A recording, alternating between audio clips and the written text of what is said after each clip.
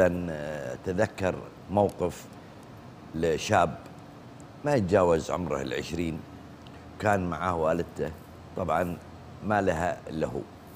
تزوجت وقبلها آه، في زواجها في شبابها كانت آه، عندها يعني مشكلة صحية في عقلها. ولما يعني شاف الزوج انه كذا تركها. وبعد فترة ربت ربى عند هذا الولد حتى وصل لتقريبا العشرين عام. فكان يجيبها عندها تخلف عقلي إلى أنها درجة ما تعرف أنه ولدها. ويجيبها للدكتورة كان في دكتورة تراجع لها.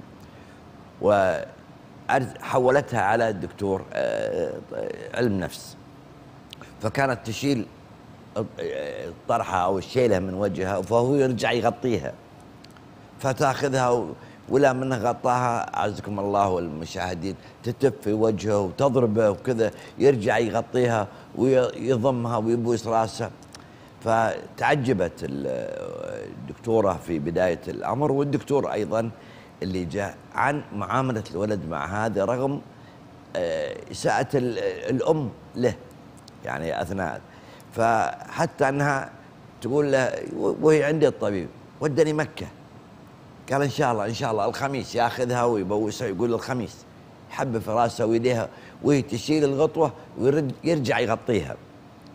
فقال الخميس الخميس إن شاء الله نروح لمكة. فسألها الدكتور قال بتروح توديها مكة؟ قال إيه. قال هي ما تعرفك؟ قال لا ما تعرفني ولا تدري من أكون.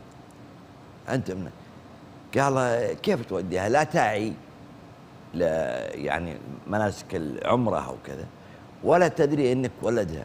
كيف توديها؟ هذه متخلفة. قال هي ما تدري لكن الله يدري. الله يعلم بما أفعل بها وأتعامل معها به.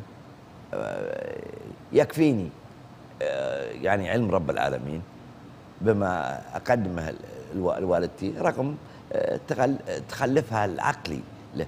فوين كثير من من اللي يسوي يعني كذا مع والدته في في حالة مثل الأحوال هذه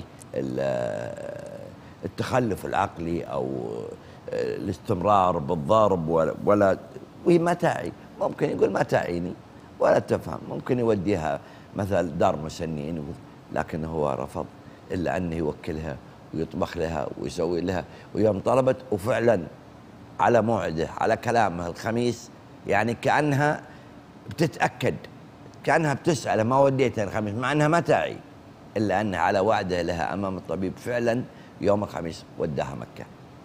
وداها فهذه من البر أيضا آه واليقين بما آه إن الله يعلم.